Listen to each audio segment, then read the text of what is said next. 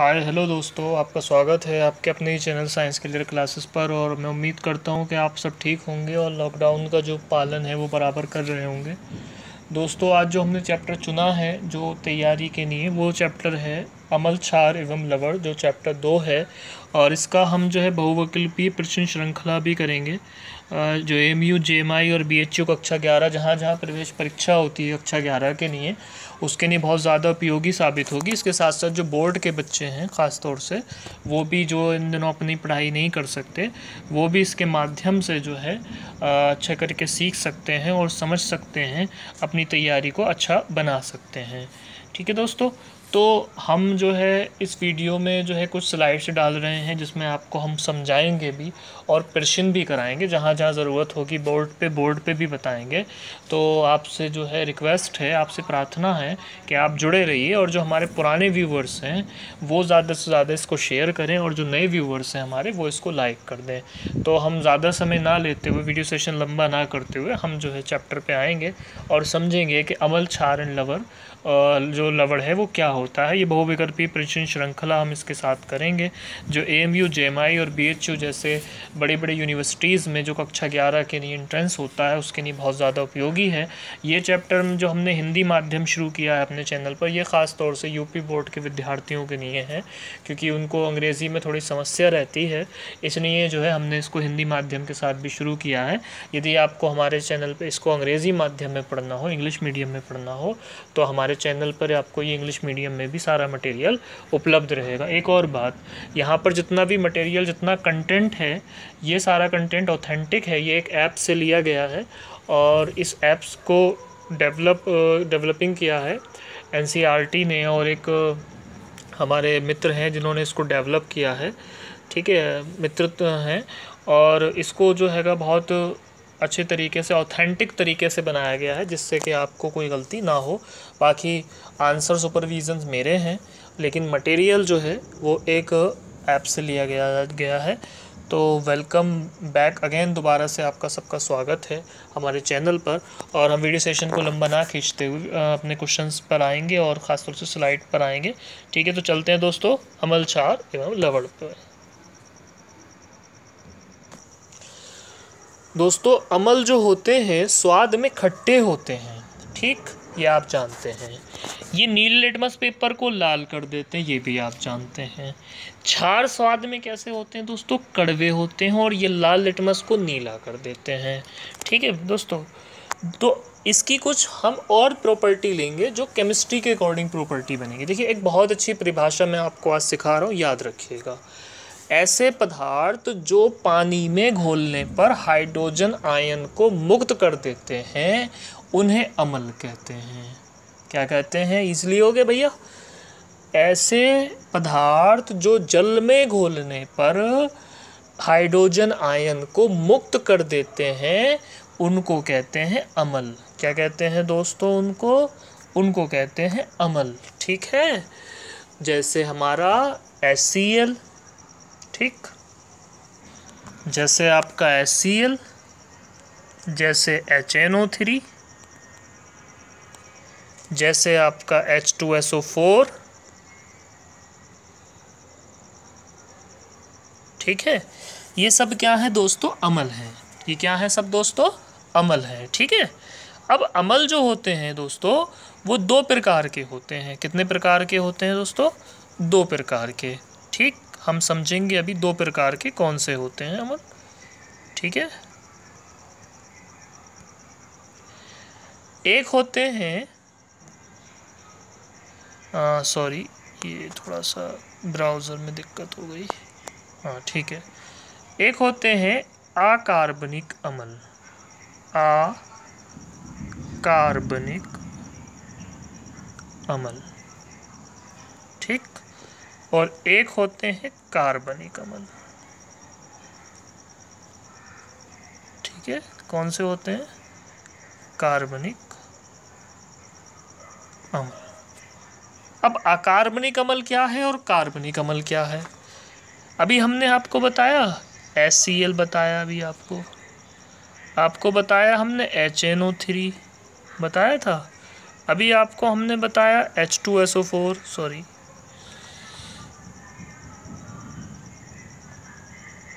देखिए अभी बता रहे हैं। तो जो हमारे एस सी एल है, क्या था दोस्तों? एस सी एल एक आपका एच एन ओ थ्री एक आपका H two S O four ये हो गए दोस्तों का अकार्बनिक अमल। कैसे अमल हो गए? अकार्बनिक भी हो गए और ये प्रबल भी कहलाते हैं। क्या कहलाते हैं ये? सॉरी थोड़ा सा ब्राउज़र में दिक्कत है, ठीक है? प्रबल हो गई। कैसे होगा भी दोस्तों? प्रबल ठीक, अब मान लीजिए हम बात करें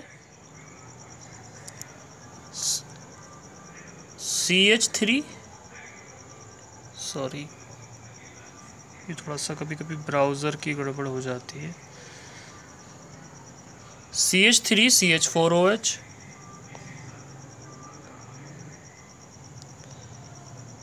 H C O O H ठीक है तो पहला वाला आप जानते हैं क्या है?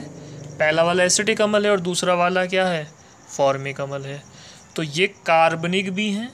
कैसे हैं दोस्तों? कार्बनिक ठीक है? इसके साथ साथ ये क्या है? ये दुर्बल भी हैं। क्या है ये? दुर्बल अमल। क्या अमल है ये? दुर्बल अमल। ठीक है? क्लियर क्या है ये?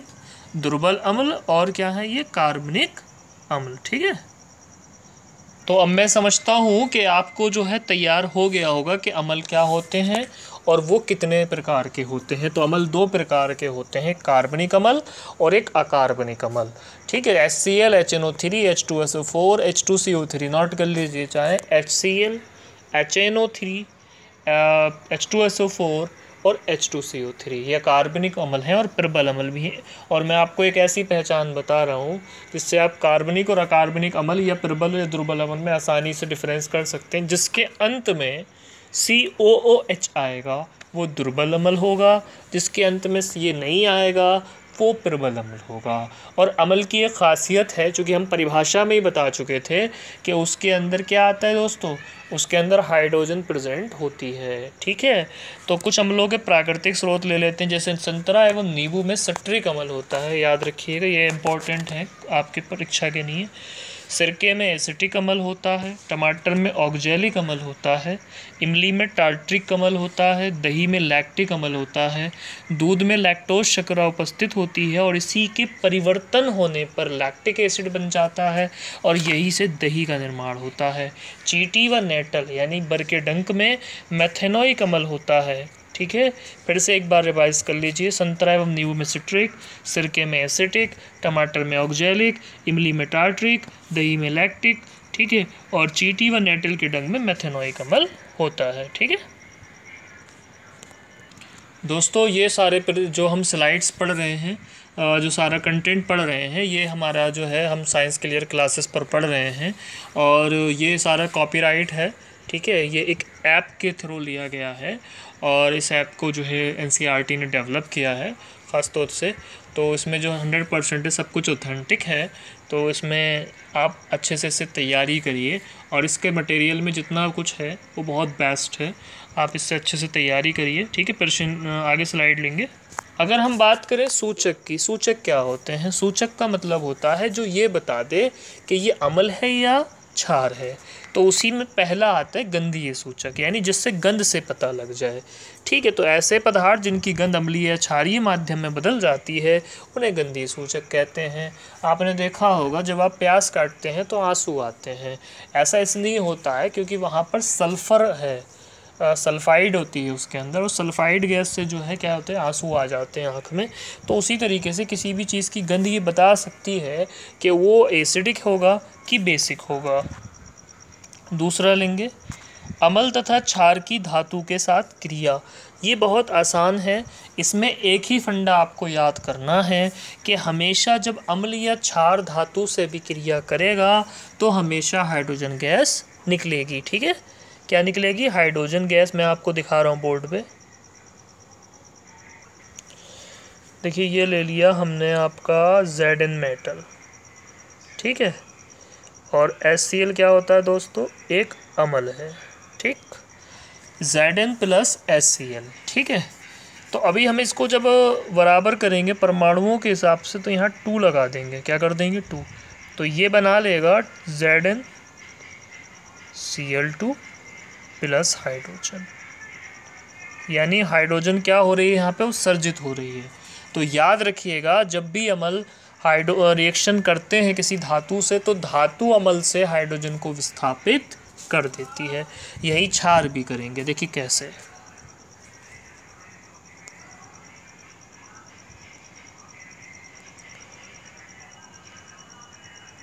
मान लीजिए आपने कराई जेड एन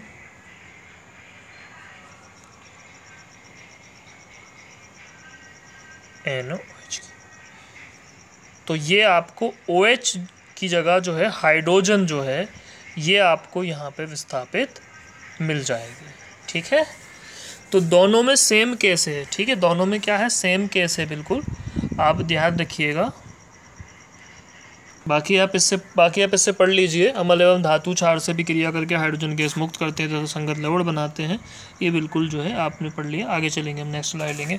अमल और क्षार की अभिक्रिया, ये बहुत इंपॉर्टेंट चीज़ है। ठीक है यदि हाइड्रोजन गैस फटफट की ध्वनि के साथ जलती है। एक परख नली में पाँच मिलीलीटर सल्फ्यूरिक अमल लेते हैं। इसमें दानेदार जिंक डालते हैं, जो मैंने अभी करके दिखाया था। बस इन्होंने क्या किया है? इन्होंने एच की जगह S O H two S O four ले लिया है। दोनों सल्फ्यूरिक अमल से क्रिया करके गैस मुक्त करते हैं। इस गैस को साबुन के पानी से प्रवाहित करने पर बुलबुले बनते हैं। जलती मोमबली, मोमबत्ती को बुलबुलों के पास ले जाने पर ये बुलबुल, बुलबुले जो होते हैं, फटफट की ध्वनि के साथ फटते हैं, तथा हाइड्रोजन गैस का दहन होने लगता है। अतः स्पष्ट है कि बुलबुलों में हाइड्रोजन गैस उपस्थित थी। इस प्रकार क्षार भी धातु से क्रिया करके हाइड्रोजन गैस मुक्त करते हैं।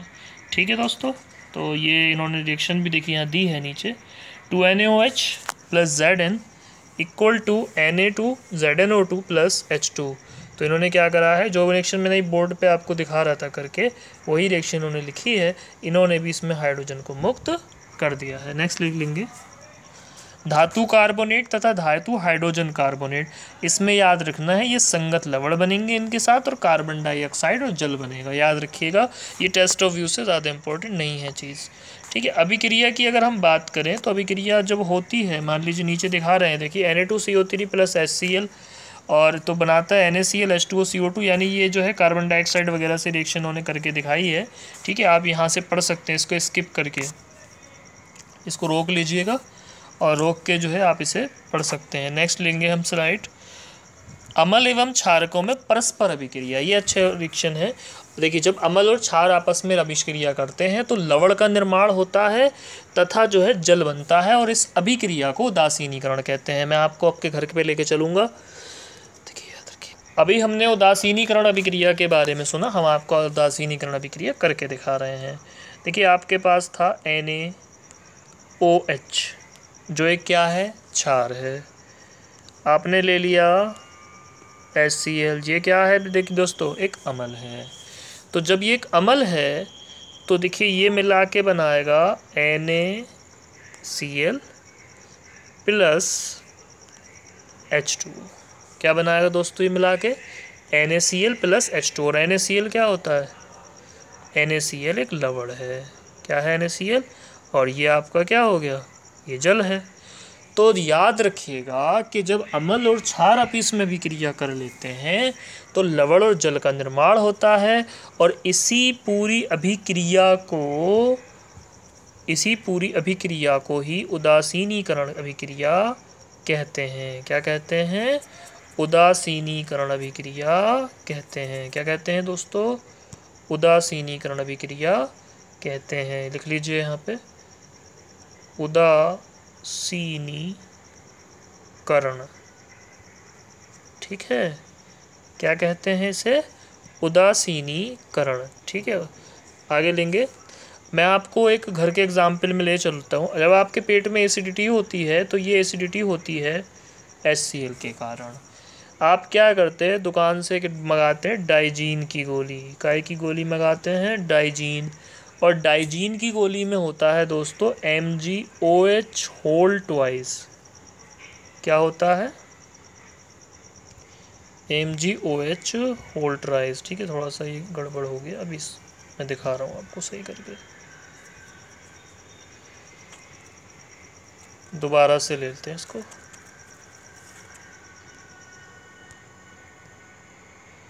ठीक है, देखिए। यह है आपका एस प्लस जो डाइजीन होती है, वो होती है M G O H whole twice जब ये रिएक्शन करेगी इससे तो बना लेगी M G C L two plus hydrogen क्या बना लेगी? M G C L two plus hydrogen यानी ये हाइड्रोजन को क्या करेगी दोस्तों? ये हाइड्रोजन को विस्तार सॉरी एच टू ओ बनेगा यहाँ पे. ये थोड़ा सा गड़बड़ हो गया। एच टू ओ बनेगा, ठीक है? याद रखिएगा एच टू ओ बनेगा यहाँ पे। ये थोड़ा सा गड़बड़ हो गया।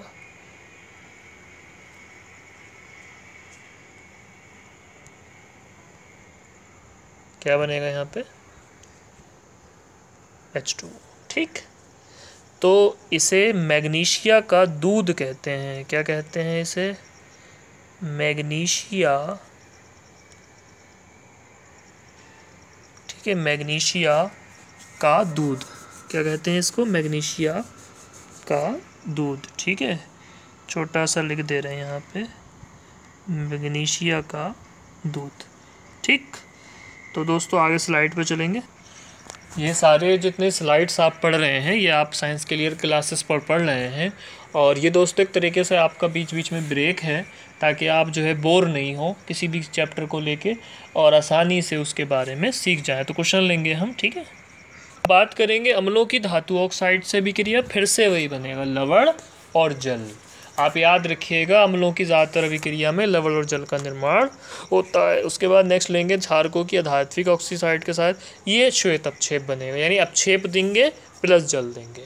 यानी बनेगा एक तरीके से लवण ही, लेकिन वो क्या होगा? अपक्षेप के रूप में होगा। अपक्षेप कहते हैं, जब किसी अभिक्रिया में कोई पदार्थ नीचे बैठ जाता है प्रखनली में तो उसे क्या कहते हैं दोस्तों? अपक्षेप कहते हैं, ठीक है? बाकी आप इससे पढ़ लीजिए। अम्ल और क्षारकों में समानताएँ सबसे पहली समानता हाइड्रोजन गैस मुक्त करते अभी बताया था। अम्लीय विलयन विद्युत धारा का चालन करता है, क्योंकि उसका कारण वहाँ पे हाइड्रोजन पॉजिटिव आयन होते हैं और क्षारीय में विद्युत धारा का चालन नहीं होता, क्योंकि वहाँ पे हाइड्रोजन धनायन का अभाव होता है। ठीक है?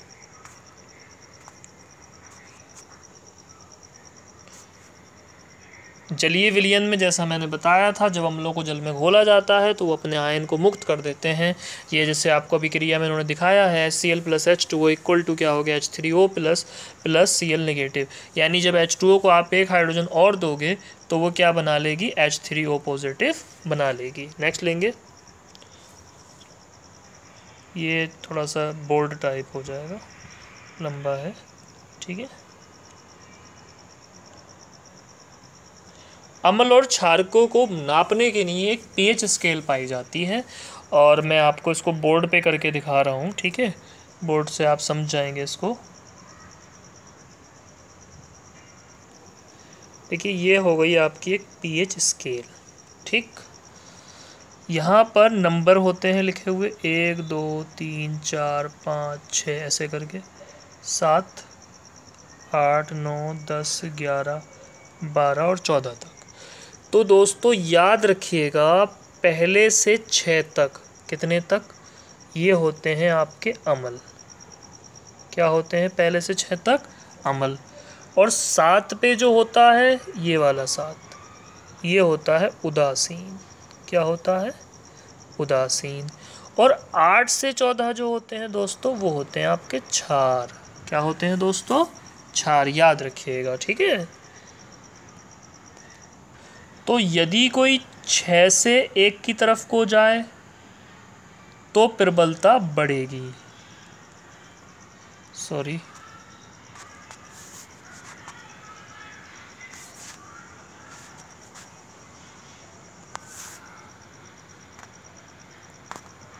तो प्रबलता क्या होगी? बढ़ेगी, ठीक है? प्रबलता क्या होगी? बढ़ेगी। और अगर साथ है तो कैसी होगी? उदासीन। कैसी होगी? उदासीन।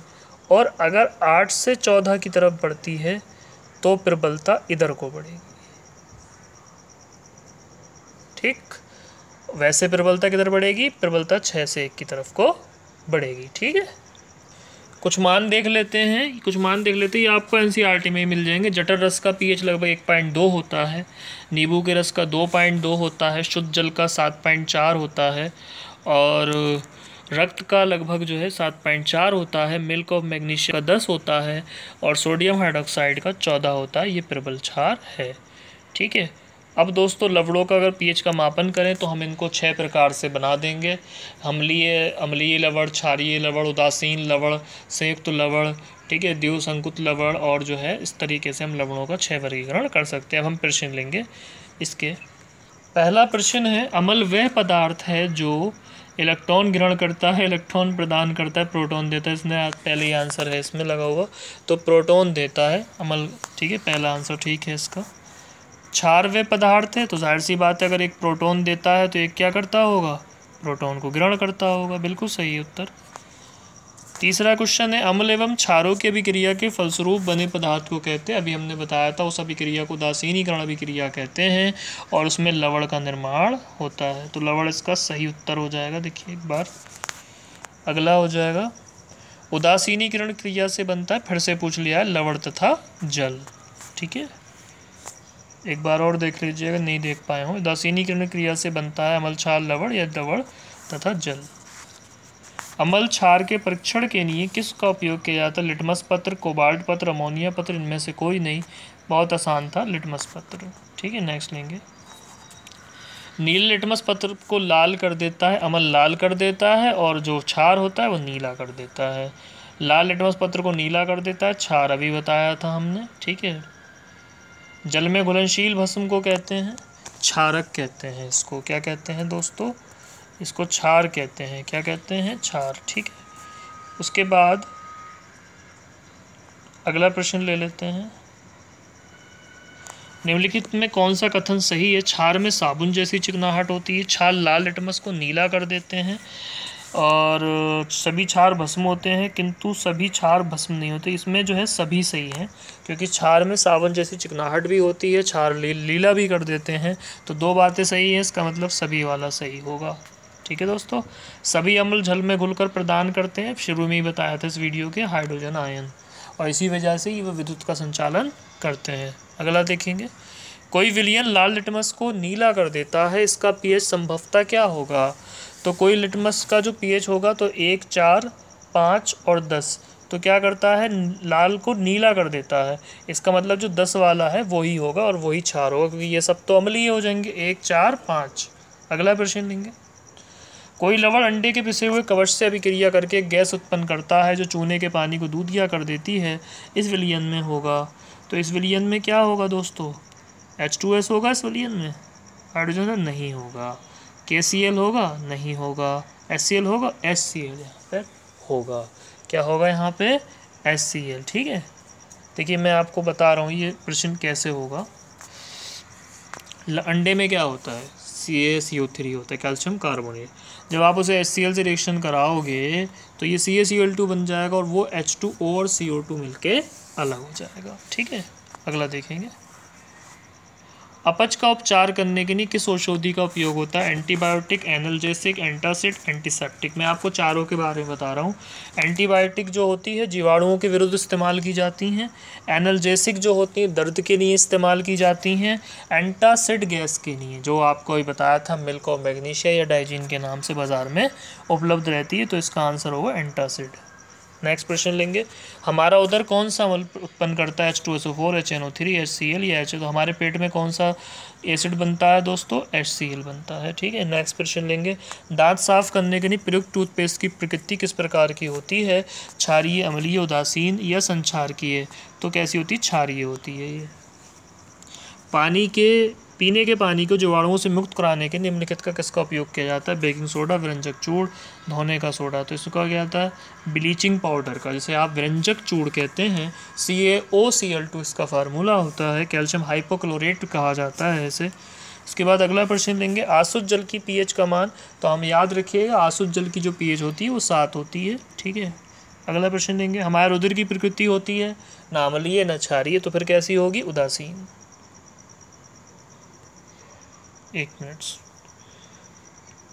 ये थोड़ा सा यहाँ पर इसमें दिक्कत है प्रश्न में, ये गलत होगा, क्योंकि अमल की जो प्रकृति होती है, वो सात पॉइंट चार के आसपास होती है तो हम उसे उदासीन में ही रखते हैं काय में रखते हैं, लेकिन सात पॉइंट चार के अकॉर्डिंग चूँकि क्षारीय हो जाती है, लेकिन हम उसे कैसे मानते हैं उदासीन में तो इस पेंशन में थोड़ी दिक्कत है, आगे देंगे।